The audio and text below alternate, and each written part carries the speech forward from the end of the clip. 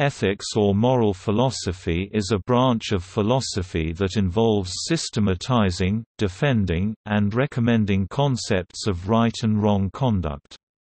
The field of ethics, along with aesthetics, concern matters of value, and thus comprise the branch of philosophy called axiology. Ethics seeks to resolve questions of human morality by defining concepts such as good and evil, right and wrong, virtue and vice, justice and crime.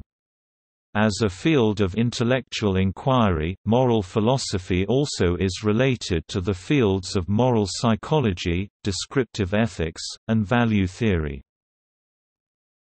Three major areas of study within ethics recognized today are Meta-ethics, concerning the theoretical meaning and reference of moral propositions, and how their truth values if any, can be determined normative ethics, concerning the practical means of determining a moral course of action applied ethics, concerning what a person is obligated or permitted to do in a specific situation or a particular domain of action.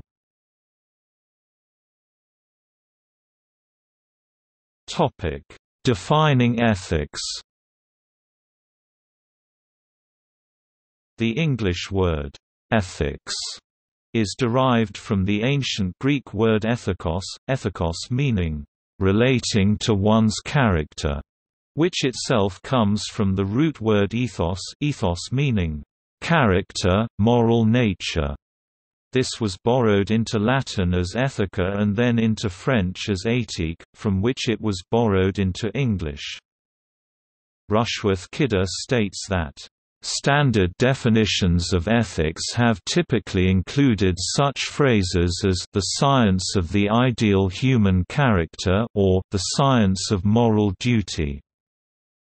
Richard William Paul and Linda Elder define ethics as a set of concepts and principles that guide us in determining what behavior helps or harms sentient creatures. The Cambridge Dictionary of Philosophy states that the word ethics is commonly used interchangeably with morality and sometimes it is used more narrowly to mean the moral principles of a particular tradition, group or individual. Paul and Elder state that most people confuse ethics with behaving in accordance with social conventions, religious beliefs, and the law and don't treat ethics as a standalone concept. The word ethics in English refers to several things. It can refer to philosophical ethics or moral philosophy a project that attempts to use reason to answer various kinds of ethical questions. As the English philosopher Bernard Williams writes, attempting to explain moral philosophy, "...what makes an inquiry a philosophical one is reflective generality and a style of argument that claims to be rationally persuasive." Williams describes the content of this area of inquiry as addressing the very broad question, "...how one should live." Ethics can also refer to a common human ability to think about ethical problems that is not particular to philosophy.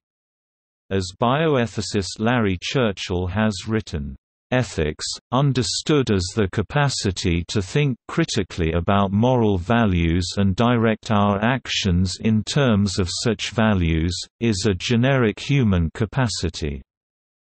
Ethics can also be used to describe a particular person's own idiosyncratic principles or habits.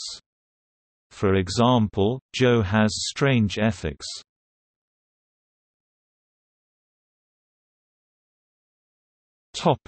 Meta-ethics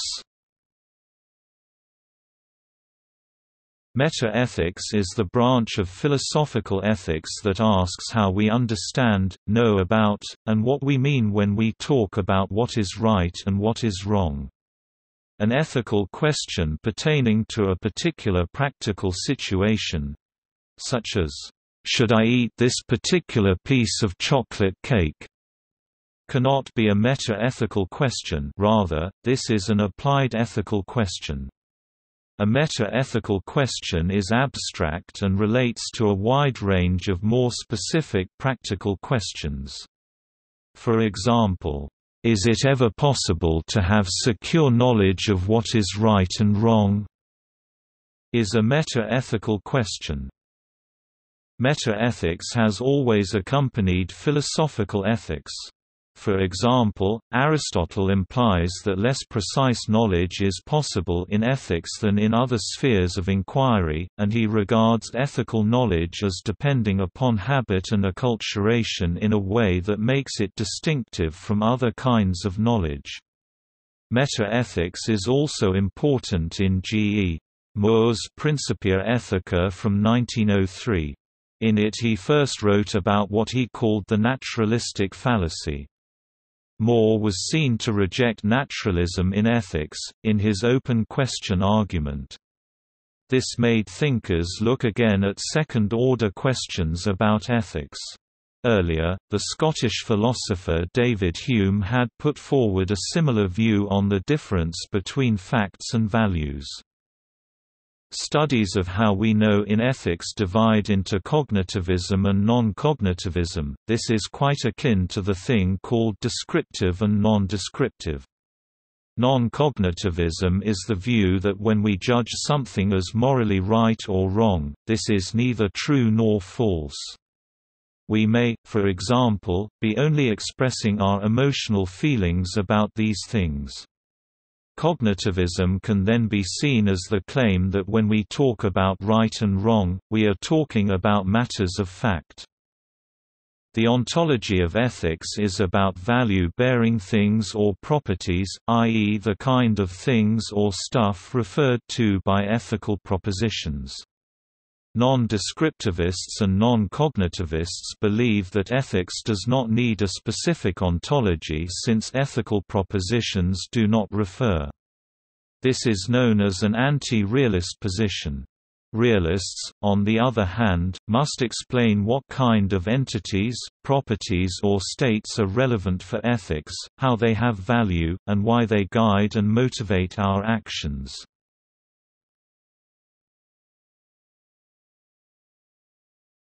Topic: Normative ethics. Normative ethics is the study of ethical action. It is the branch of ethics that investigates the set of questions that arise when considering how one ought to act, morally speaking, Normative ethics is distinct from meta-ethics because normative ethics examines standards for the rightness and wrongness of actions, while meta-ethics studies the meaning of moral language and the metaphysics of moral facts.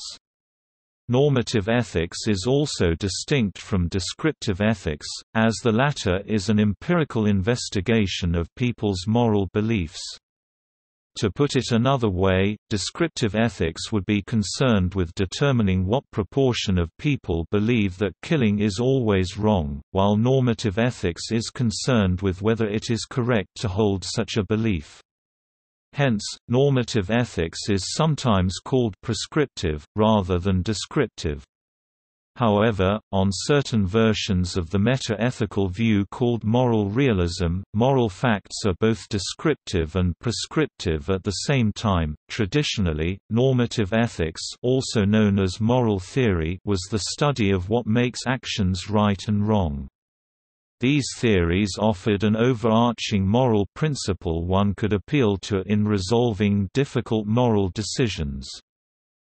At the turn of the 20th century, moral theories became more complex and were no longer concerned solely with rightness and wrongness, but were interested in many different kinds of moral status. During the middle of the century, the study of normative ethics declined as meta-ethics grew in prominence. This focus on meta-ethics was in part caused by an intense linguistic focus in analytic philosophy and by the popularity of logical positivism.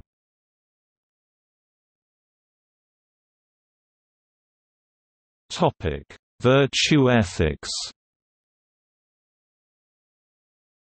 Virtue ethics describes the character of a moral agent as a driving force for ethical behavior, and it is used to describe the ethics of Socrates, Aristotle, and other early Greek philosophers. Socrates 469 to 399 BC was one of the first Greek philosophers to encourage both scholars and the common citizen to turn their attention from the outside world to the condition of humankind. In this view, knowledge bearing on human life was placed highest, while all other knowledge was secondary. Self-knowledge was considered necessary for success and inherently an essential good. A self-aware person will act completely within his capabilities to his pinnacle, while an ignorant person will flounder and encounter difficulty. To Socrates, a person must become aware of every fact and its context relevant to his existence, if he wishes to attain self-knowledge. He posited that people will naturally do what is good if they know what is right. Evil or bad actions are the results of ignorance. If a criminal was truly aware of the intellectual and spiritual consequences of his or her actions, he or she would neither commit nor even consider committing those actions. Any person who knows what is truly right will automatically do it, according to Socrates. While he correlated knowledge with virtue, he similarly equated virtue with joy. The truly wise man will know what is right, do what is good, and therefore be happy. Aristotle 384 to 323 BC posited an ethical system that may be termed virtuous in Aristotle's view, when a person acts in accordance with virtue this person will do good and be content. Unhappiness and frustration are caused by doing wrong, leading to failed goals and a poor life. Therefore, it is imperative for people to act in accordance with virtue, which is only attainable by the practice of the virtues in order to be content and complete. Happiness was held to be the ultimate goal. All other things, such as civic life or wealth, were only made worthwhile and of benefit when employed in the practice of the virtues. The practice of the virtues is the surest path to happiness. Aristotle asserted that the soul of man had three natures, body physical, metabolism, animal emotional, appetite, and rational mental, conceptual. Physical nature can be assuaged through exercise and care, emotional nature through indulgence of instinct and urges, and mental nature through human reason and developed potential rational development was considered the most important, as essential to philosophical self-awareness and as uniquely human. Moderation was encouraged, with the extremes seen as degraded and immoral. For example, courage is the moderate virtue between the extremes of cowardice and recklessness.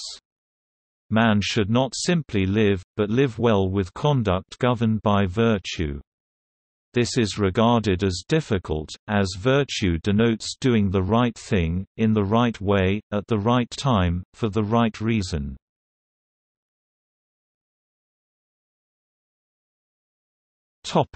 Stoicism The Stoic philosopher Epictetus posited that the greatest good was contentment and serenity. Peace of mind, or apatheia, was of the highest value. Self mastery over one's desires and emotions leads to spiritual peace. The unconquerable will is central to this philosophy. The individual's will should be independent and inviolate. Allowing a person to disturb the mental equilibrium is, in essence, offering yourself in slavery. If a person is free to anger you at will, you have no control over your internal world, and therefore no freedom. Freedom from material attachments is also necessary. If a thing breaks, the person should not be upset, but realize it was a thing that could break. Similarly, if someone should die, those close to them should hold to their serenity because the loved one was made of flesh and blood destined to death. Stoic philosophy says to accept things that cannot be changed, resigning oneself to the existence and enduring in a rational fashion. Death is not feared. People do not «lose» their life, but instead «return» for they are returning to God who initially gave what the person is as a person. Epictetus said, difficult problems in life should not be avoided, but rather embraced. They are spiritual exercises needed for the health of the spirit, just as physical exercise is required for the health of the body. He also stated that sex and sexual desire are to be avoided as the greatest threat to the integrity and equilibrium of a man's mind. Abstinence is highly desirable. Epictetus said remaining abstinent in the face of temptation was a victory for which a man could be proud.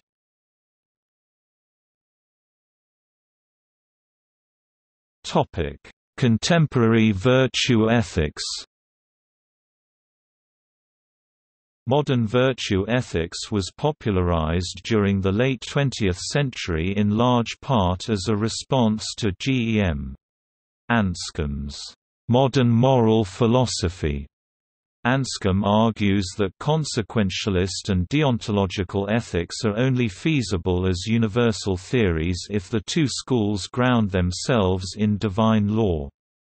As a deeply devoted Christian herself, Anscombe proposed that either those who do not give ethical credence to notions of divine law take up virtue ethics, which does not necessitate universal laws as agents themselves are investigated for virtue or vice and held up to universal standards or that those who wish to be utilitarian or consequentialist ground their theories in religious conviction.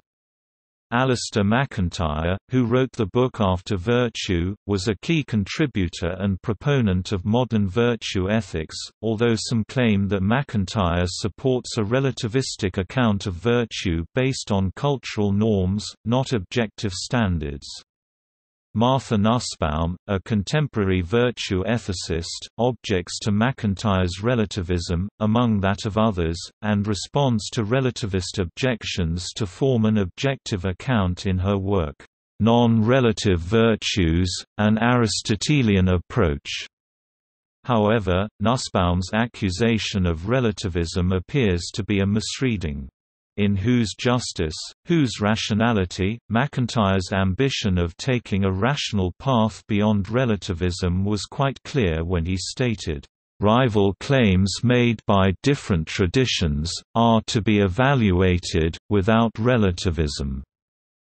p. 354 because indeed rational debate between and rational choice among rival traditions is possible p. 352. Complete Conduct Principles for the 21st Century blended the Eastern virtue ethics and the Western virtue ethics, with some modifications to suit the 21st century, and formed a part of contemporary virtue ethics.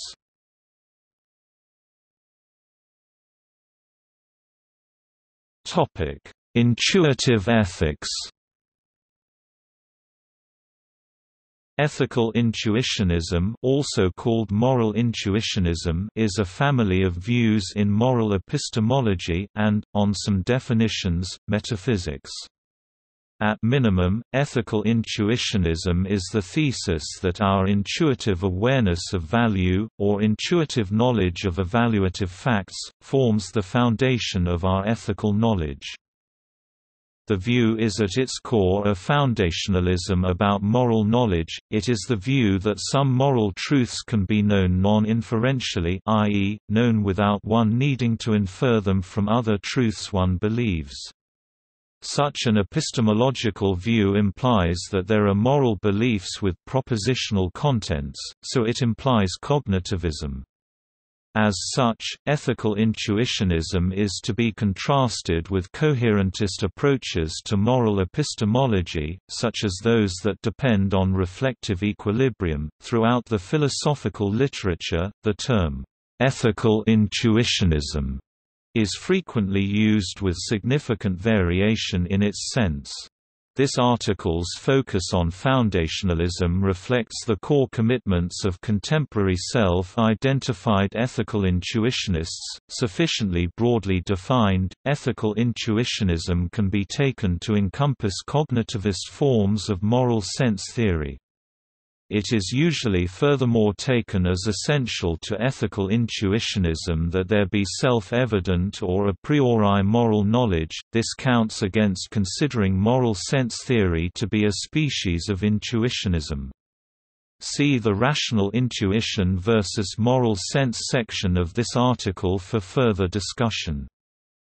Ethical intuitionism was first clearly shown in use by the philosopher Francis Hutcheson. Later ethical intuitionists of influence and note include Henry Sidgwick, G. E. Moore, Harold Arthur Prichard, C. S. Lewis and, most influentially, Robert Audi. Objections to ethical intuitionism include whether or not there are objective moral values an assumption which the ethical system is based upon the question of why many disagree over ethics if they are absolute, and whether Occam's razor cancels such a theory out entirely.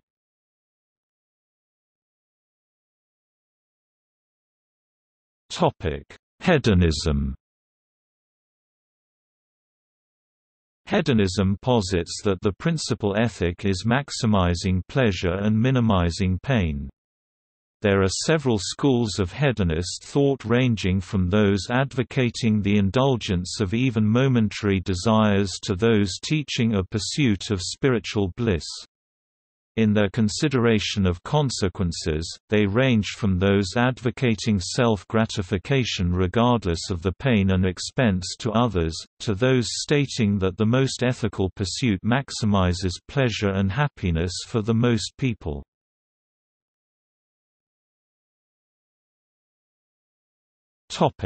Cyrenaic hedonism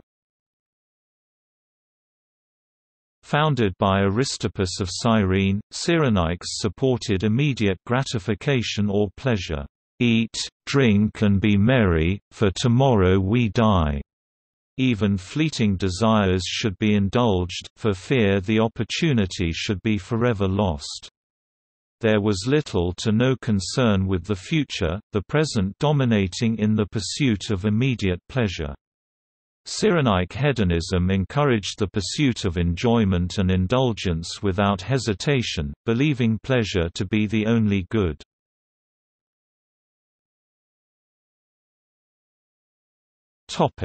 Epicureanism Epicurean ethics is a hedonist form of virtue ethics. Epicurus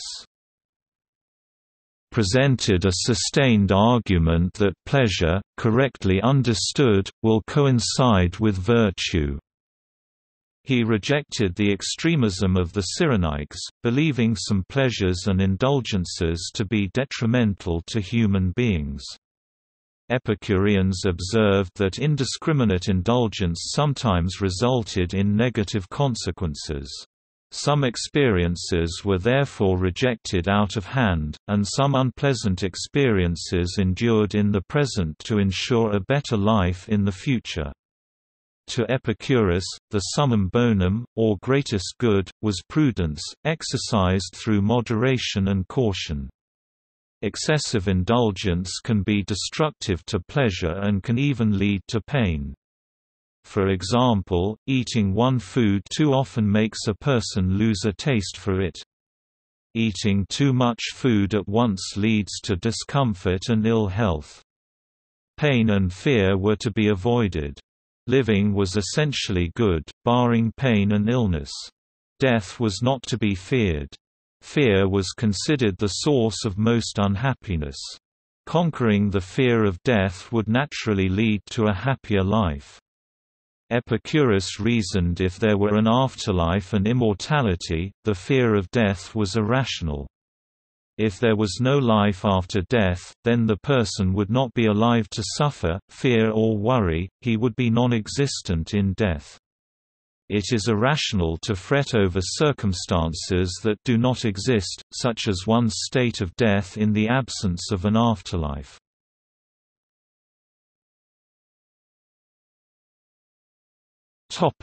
State consequentialism State consequentialism, also known as mohist consequentialism, is an ethical theory that evaluates the moral worth of an action based on how much it contributes to the basic goods of a state. The Stanford Encyclopedia of Philosophy describes mohist consequentialism, dating back to the 5th century BC, as a remarkably sophisticated version based on a plurality of intrinsic goods taken as constitutive of human welfare. Unlike utilitarianism, which views pleasure as a moral good, the basic goods in mohist consequentialist thinking are order, material wealth, and increase in population. During Mozi's era, war and famines were common, and population growth was seen as a moral necessity for a harmonious society. The material wealth of mohist consequentialism refers to basic needs like shelter and clothing, and the order of mohist consequentialism refers to Mozi's stance against warfare and violence, which he viewed as pointless and a threat to social stability. Stanford sinologist David Shepherd Nivison, in the Cambridge History of Ancient China, writes that the moral goods of mohism are interrelated, more basic wealth, then more reproduction, more people, then more production and wealth, if people have plenty, they would be good, filial, kind, and so on unproblematically. The Mohists believed that morality is based on promoting the benefit of all under heaven and eliminating harm to all under heaven. In contrast to Bentham's views, state consequentialism is not utilitarian because it is not hedonistic or individualistic. The importance of outcomes that are good for the community outweigh the importance of individual pleasure and pain.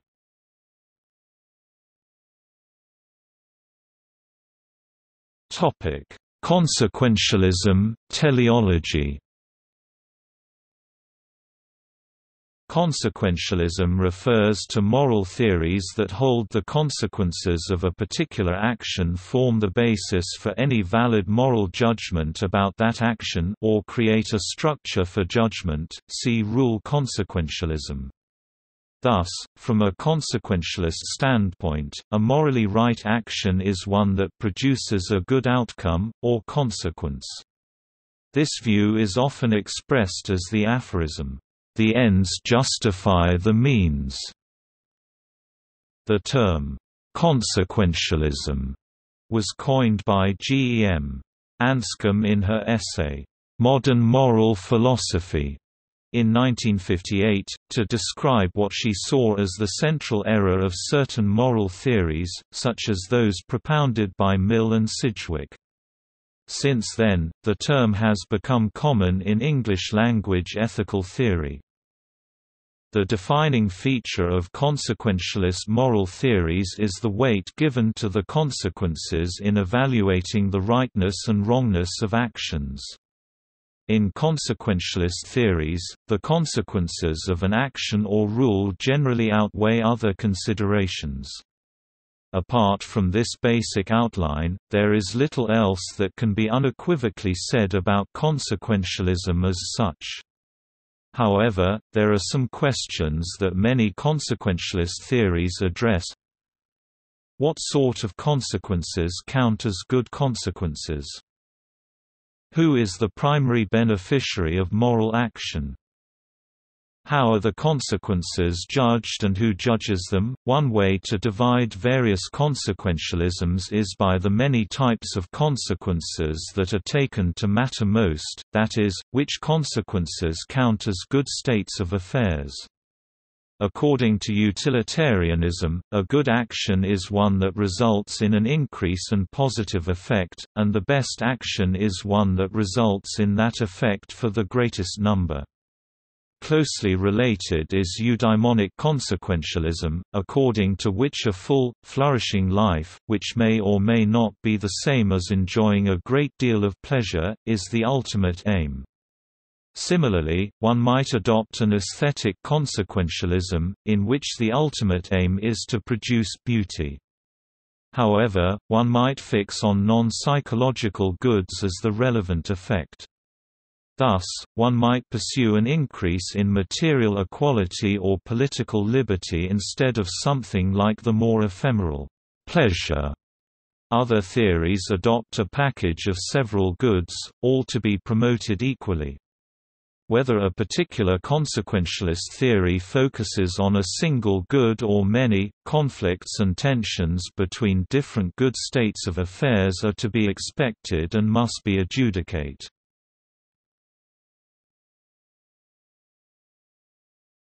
Topic: Utilitarianism.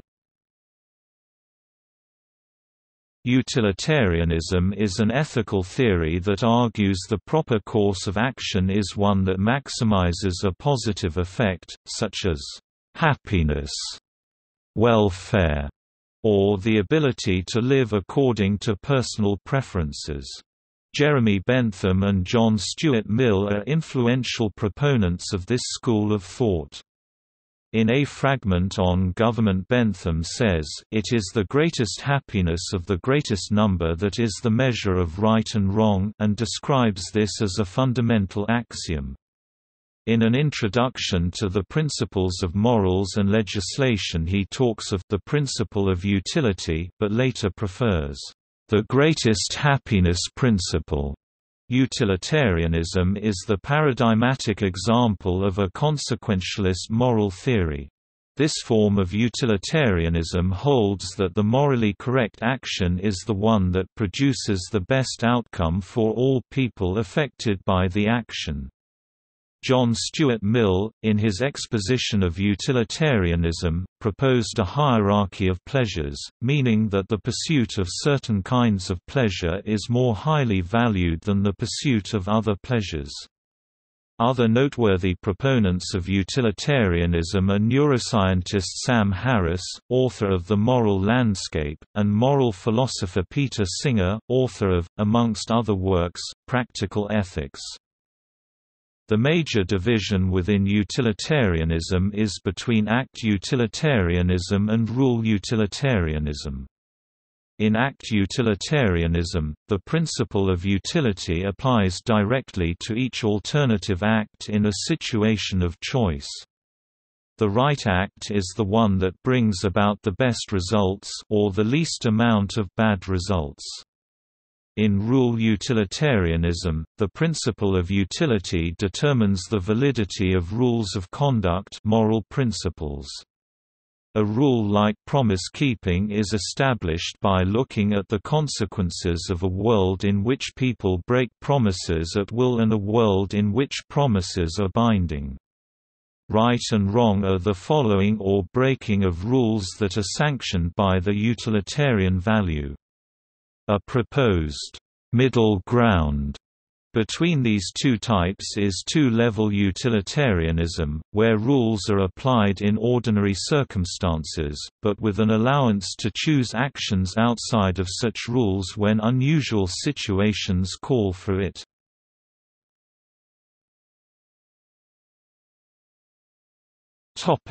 Deontology Deontological ethics or deontology from Greek deon, deon, obligation, duty, and logia, logia is an approach to ethics that determines goodness or rightness from examining acts, or the rules and duties that the person doing the act strove to fulfill. This is in contrast to consequentialism, in which rightness is based on the consequences of an act, and not the act by itself. Under deontology, an act may be considered right even if the act produces a bad consequence, if it follows the rule or moral law. According to the deontological view, people have a duty to act in a way that does those things that are inherently good as acts, truth-telling, for example, or follow an objectively obligatory rule as in rule utilitarianism. Immanuel Kant's theory of ethics is considered deontological for several different reasons. First, Kant argues that to act in the morally right way, people must act from duty deon. Second, Kant argued that it was not the consequences of actions that make them right or wrong but the motives expressed as maxims of the person who carries out the action. Kant's argument that to act in the morally right way, one must act from duty, begins with an argument that the highest good must be both good in itself, and good without qualification.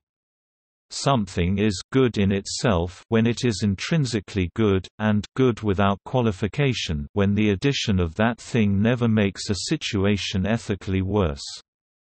Kant then argues that those things that are usually thought to be good, such as intelligence, perseverance and pleasure, fail to be either intrinsically good or good without qualification. Pleasure, for example, appears to not be good without qualification, because when people take pleasure in watching someone suffer, they make the situation ethically worse. He concludes that there is only one thing that is truly good, Nothing in the world—indeed nothing even beyond the world—can possibly be conceived which could be called good without qualification except a good will.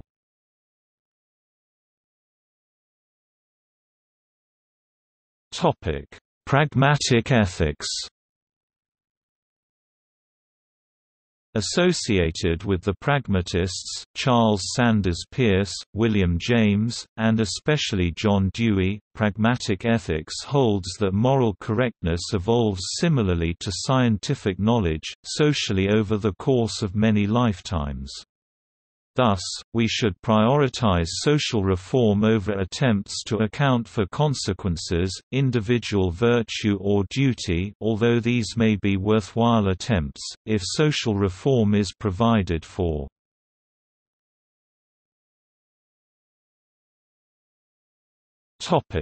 Discourse ethics German philosopher Jürgen Habermas has proposed a theory of discourse ethics that he claims is a descendant of Kantian ethics. He proposes that action should be based on communication between those involved, in which their interests and intentions are discussed so they can be understood by all. Rejecting any form of coercion or manipulation, Habermas believes that agreement between the parties is crucial for a moral decision to be reached. Like Kantian ethics, discourse ethics is a cognitive ethical theory, in that it supposes that truth and falsity can be attributed to ethical propositions. It also formulates a rule by which ethical actions can be determined and proposes that ethical actions should be universalizable. In a similar way to Kant's ethics, Habermas argues that his ethical theory is an improvement on Kant's ethics. He rejects the dualistic framework of Kant's ethics. Kant distinguished between the phenomena world, which can be sensed and experienced by humans, and the noumena, or spiritual world, which is inaccessible to humans. This dichotomy was necessary for Kant because it could explain the autonomy of a human agent. Although a human is bound in the phenomenal world, their actions are free in the intelligible world. For Habermas, morality arises from discourse, which is made necessary by the rationality and needs, rather than their freedom.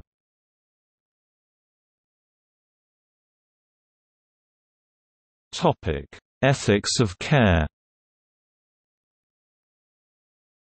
Care ethics contrasts with more well-known ethical models, such as consequentialist theories e.g. utilitarianism and deontological theories e.g., Kantian ethics in that it seeks to incorporate traditionally feminized virtues and values that—proponents of care ethics contend—are absent in such traditional models of ethics.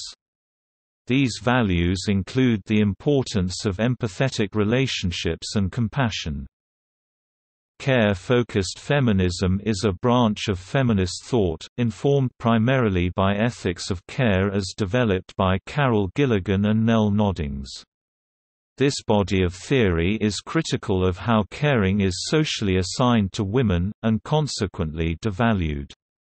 They write, care-focused feminists regard women's capacity for care as a human strength, that should be taught to and expected of men as well as women. Noddings proposes that ethical caring has the potential to be a more concrete evaluative model of moral dilemma than an ethic of justice. Noddings care-focused feminism requires practical application of relational ethics, predicated on an ethic of care.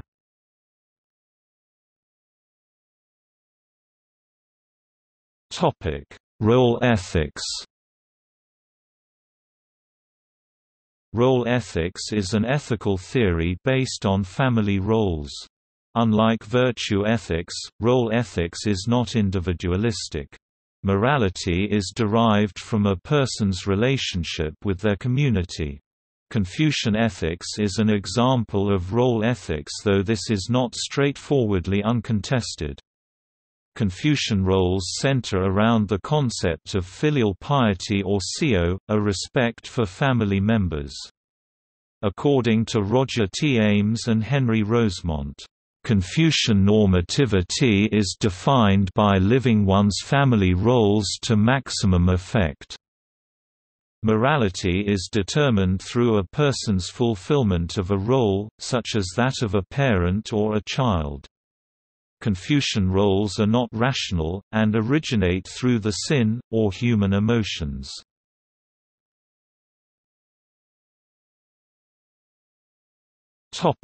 Anarchist ethics Anarchist ethics is an ethical theory based on the studies of anarchist thinkers. The biggest contributor to the anarchist ethics is the Russian zoologist, geographer, economist, and political activist Peter Kropotkin. Starting from the premise that the goal of ethical philosophy should be to help humans adapt and thrive in evolutionary terms, Kropotkin's ethical framework uses biology and anthropology as a basis, in order to scientifically establish what will best enable a given social order to thrive biologically and socially, and advocates certain behavioral practices to enhance humanity's capacity for freedom and well-being, namely practices which emphasize solidarity, equality, and justice. Kropotkin argues that ethics itself is evolutionary, and is inherited as a sort of a social instinct through cultural history, and by so, he rejects any religious and transcendental explanation of morality. The origin of ethical feeling in both animals and humans can be found, he claims, in the natural fact of sociality, mutualistic symbiosis, which humans can then combine with the instinct for justice i.e. equality and then with the practice of reason to construct a non-supernatural and anarchistic system of ethics. Kropotkin suggests that the principle of equality at the core of anarchism is the same as the Golden Rule, this principle of treating others as one wishes to be treated oneself, what is it but the very same principle as equality, the fundamental principle of anarchism? And how can anyone manage to believe himself an anarchist unless he practices it? We do not wish to be ruled and by this very fact, do we not declare that we ourselves wish to rule nobody? We do not wish to be deceived, we wish always to be told nothing but the truth. And by this very fact, do we not declare that we ourselves do not wish to deceive anybody, that we promise to always tell the truth, nothing but the truth, the whole truth? We do not wish to have the fruits of our labor stolen from us.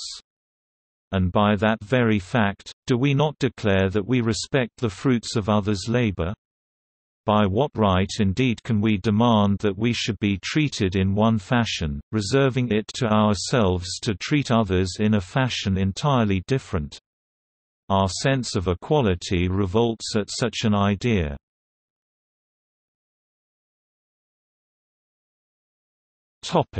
Postmodern ethics The 20th century saw a remarkable expansion and evolution of critical theory, following on earlier Marxist theory efforts to locate individuals within larger structural frameworks of ideology and action.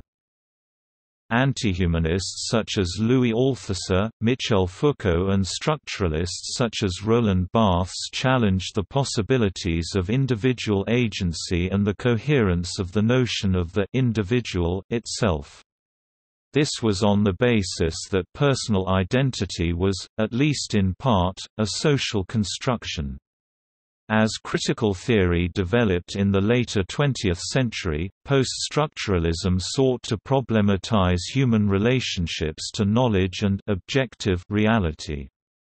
Jacques Derrida argued that access to meaning and the real was always deferred, and sought to demonstrate via recourse to the linguistic realm that, "...there is no outside text, non-text.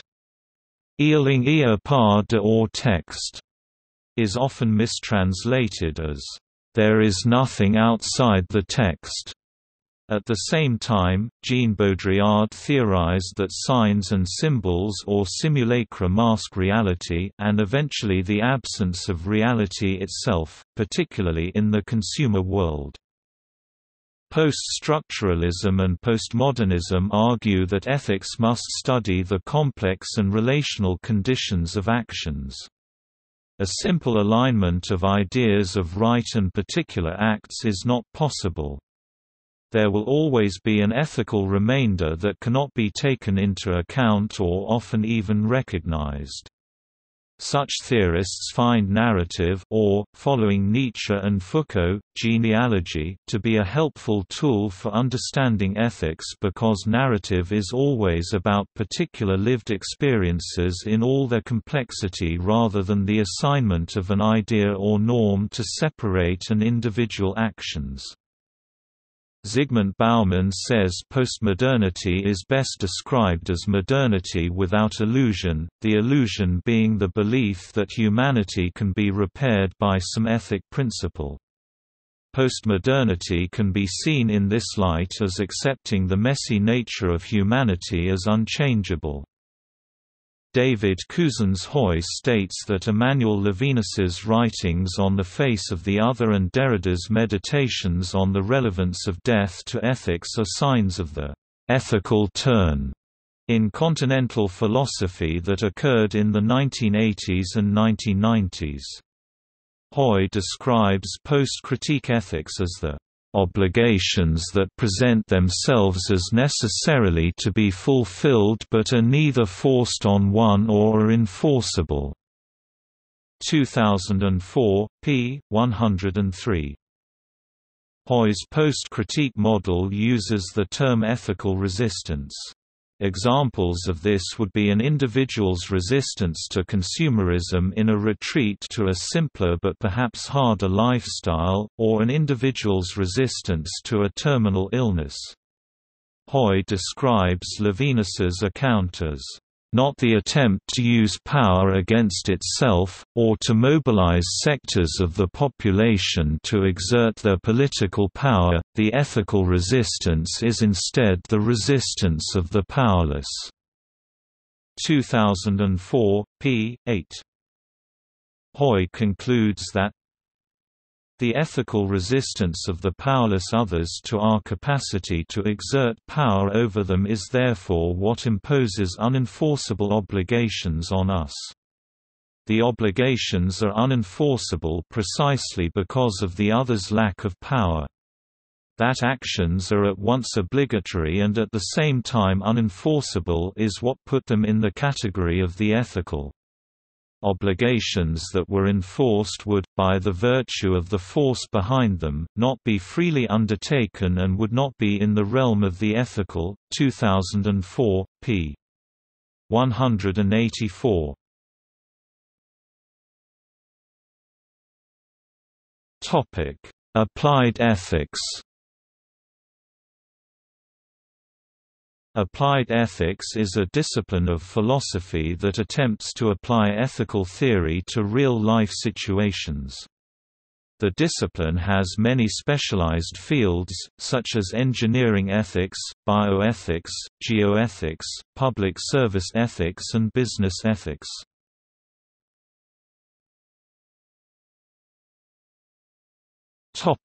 Specific questions Applied ethics is used in some aspects of determining public policy, as well as by individuals facing difficult decisions.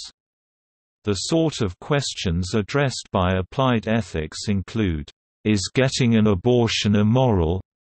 Is euthanasia immoral? Is affirmative action right or wrong?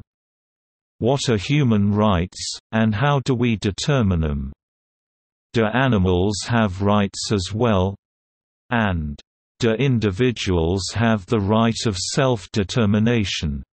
A more specific question could be, if someone else can make better out of his, her life than I can, is it then moral to sacrifice myself for them if needed?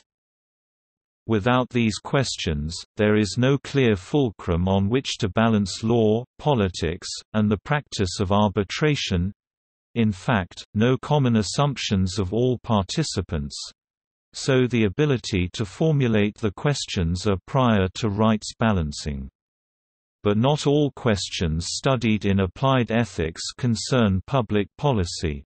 For example, making ethical judgments regarding questions such as, is lying always wrong? And, if not, when is it permissible? is prior to any etiquette. People, in general, are more comfortable with dichotomies two opposites. However, in ethics, the issues are most often multifaceted and the best proposed actions address many different areas concurrently. In ethical decisions, the answer is almost never a yes or no, right or wrong statement. Many buttons are pushed so that the overall condition is improved and not to the benefit of any particular faction.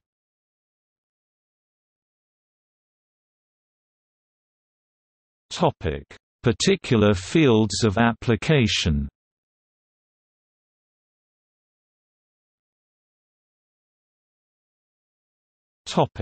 Bioethics Bioethics is the study of controversial ethics brought about by advances in biology and medicine. Bioethicists are concerned with the ethical questions that arise in the relationships among life sciences, biotechnology, medicine, politics, law, and philosophy. It also includes the study of the more commonplace questions of values, the ethics of the ordinary, that arise in primary care and other branches of medicine. Bioethics also needs to address emerging biotechnologies that affect basic biology and future humans. These developments include cloning, gene therapy, human genetic engineering, astroethics and life in space, and manipulation of basic biology through altered DNA, RNA and proteins, e.g. Three-parent baby, where baby is born from genetically modified embryos, would have DNA from a mother, a father and from a female donor. Correspondingly, new bioethics also need to address life at its core. For example, biotic ethics value organic gene, protein life itself and seek to propagate it. With such life-centered principles, ethics may secure a cosmological future for life.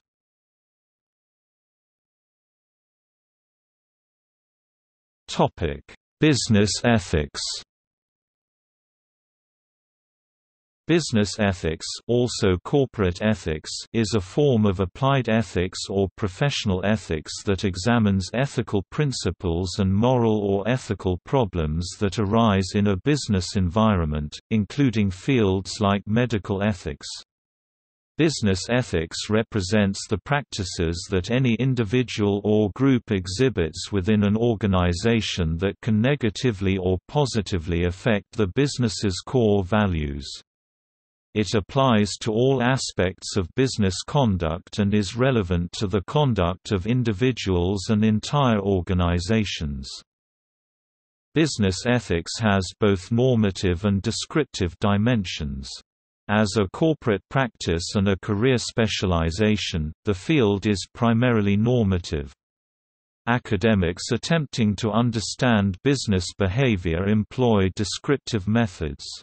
The range and quantity of business ethical issues reflect the interaction of profit-maximizing behavior with non-economic concerns. Interest in business ethics accelerated dramatically during the 1980s and 1990s, both within major corporations and within academia.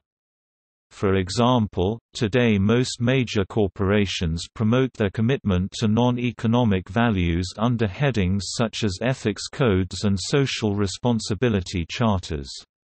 Adam Smith said, People of the same trade seldom meet together, even for merriment and diversion, but the conversation ends in a conspiracy against the public, or in some contrivance to raise prices. Governments use laws and regulations to point business behavior in what they perceive to be beneficial directions. Ethics implicitly regulates areas and details of behavior that lie beyond governmental control. The emergence of large corporations with limited relationships and sensitivity to the communities in which they operate accelerated the development of formal ethics regimes.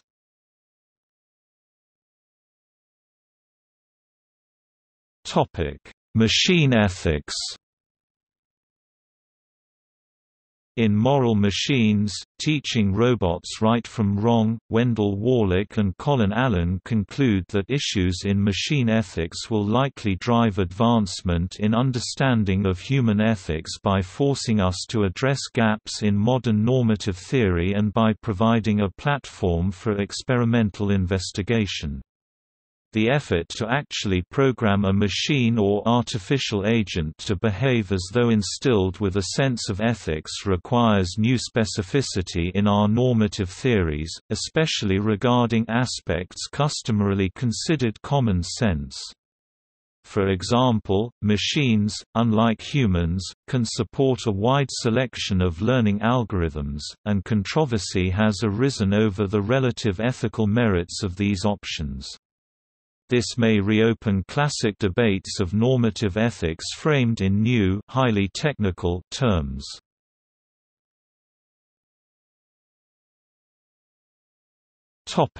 Military ethics. Military ethics are concerned with questions regarding the application of force and the ethos of the soldier and are often understood as applied professional ethics. Just war theory is generally seen to set the background terms of military ethics. However, individual countries and traditions have different fields of attention. Military ethics involves multiple subareas, including the following among others. What, if any, should be the laws of war?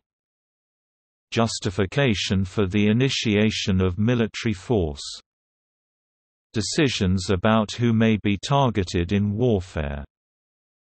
Decisions on choice of weaponry, and what collateral effects such weaponry may have. Standards for handling military prisoners. Methods of dealing with violations of the laws of war.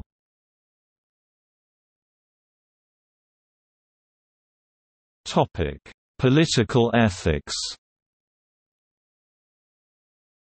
Political ethics also known as political morality or public ethics is the practice of making moral judgments about political action and political agents.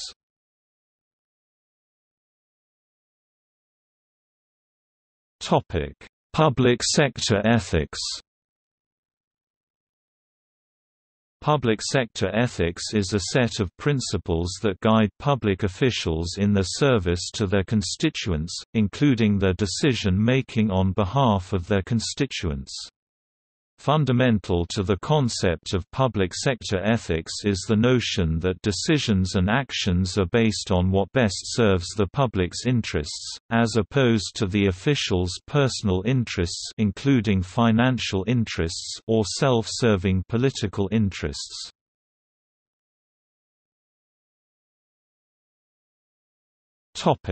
Publication ethics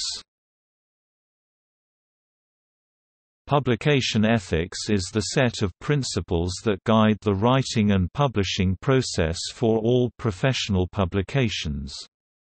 To follow these principles, authors must verify that the publication does not contain plagiarism or publication bias.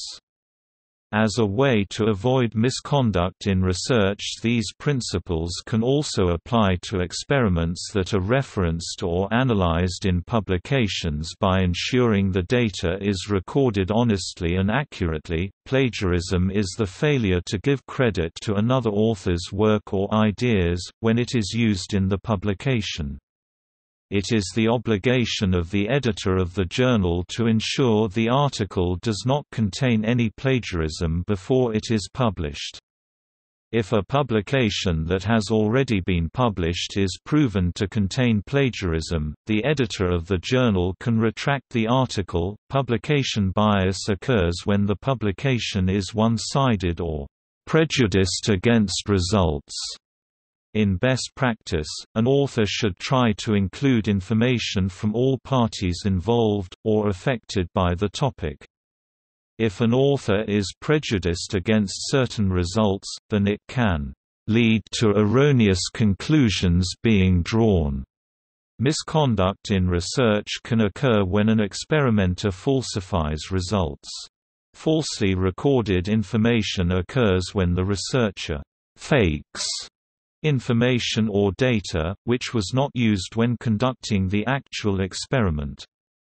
By faking the data, the researcher can alter the results from the experiment to better fit the hypothesis they originally predicted. When conducting medical research, it is important to honor the healthcare rights of a patient by protecting their anonymity in the publication. Respect for autonomy is the principle that decision making should allow individuals to be autonomous, they should be able to make decisions that apply to their own lives. This means that individuals should have control of their lives. Justice is the principle that decision-makers must focus on actions that are fair to those affected. Ethical decisions need to be consistent with the ethical theory.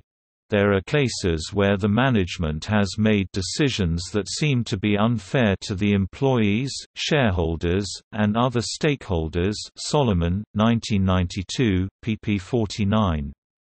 Such decisions are unethical.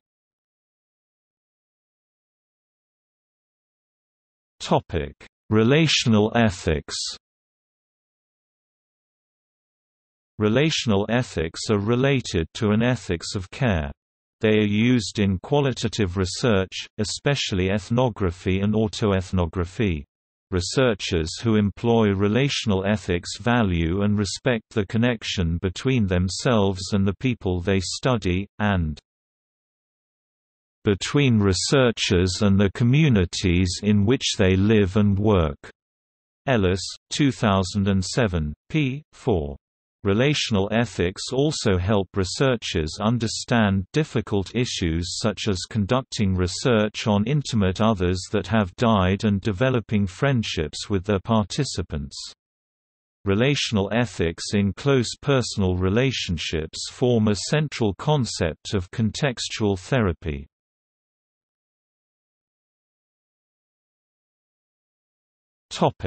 Animal ethics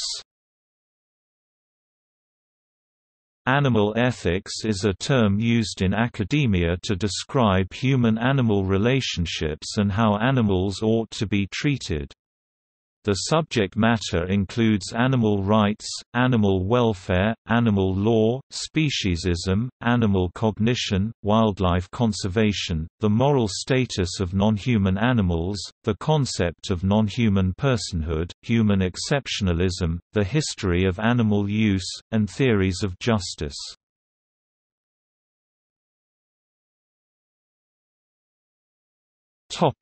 Moral psychology Moral psychology is a field of study that began as an issue in philosophy and that is now properly considered part of the discipline of psychology. Some use the term, "...moral psychology", relatively narrowly to refer to the study of moral development. However, others tend to use the term more broadly to include any topics at the intersection of ethics and psychology and philosophy of mind. Such topics are ones that involve the mind and are relevant to moral issues. Some of the main topics of the field are moral responsibility, moral development, moral character especially as related to virtue ethics, altruism, psychological egoism, moral luck, and moral disagreement.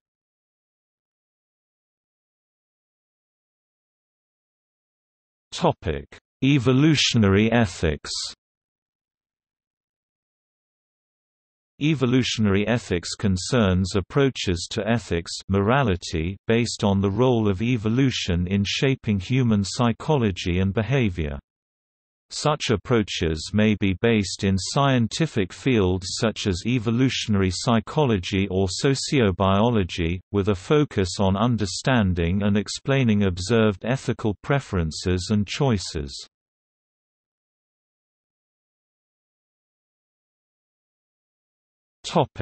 Descriptive ethics Descriptive ethics is on the less philosophical end of the spectrum since it seeks to gather particular information about how people live and draw general conclusions based on observed patterns. Abstract and theoretical questions that are more clearly philosophical—such as, "'Is ethical knowledge possible?' Are not central to descriptive ethics. Descriptive ethics offers a value-free approach to ethics, which defines it as a social science rather than a humanity. Its examination of ethics doesn't start with a preconceived theory but rather investigates observations of actual choices made by moral agents in practice. Some philosophers rely on descriptive ethics and choices made and unchallenged by a society or culture to derive categories, which typically vary by context. This can lead to situational ethics and situated ethics. These philosophers often view aesthetics, etiquette, and arbitration as more fundamental, percolating bottom-up to imply the existence of, rather than explicitly prescribe, theories of value or of conduct. The study of descriptive ethics may include examinations of the following Ethical codes applied by various groups. Some consider aesthetics itself the basis of ethics, and a personal moral core developed through art and storytelling as very influential in one's later ethical choices. Informal theories of etiquette that tend to be less rigorous and more situational. Some consider etiquette a simple negative ethics, i.e., where can one evade an uncomfortable truth without doing wrong? One notable advocate of this view is Judith Martin. Miss Manners. According to this view, ethics is more a summary of common-sense social decisions. Practices in arbitration and law, e.g., the claim that ethics itself is a matter of balancing right versus right, i.e., putting priorities on two things that are both right, but that must be traded off carefully in each situation.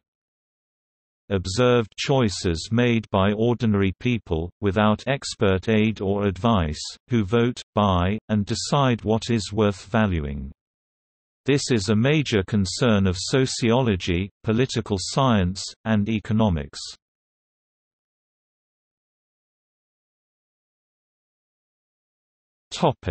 See also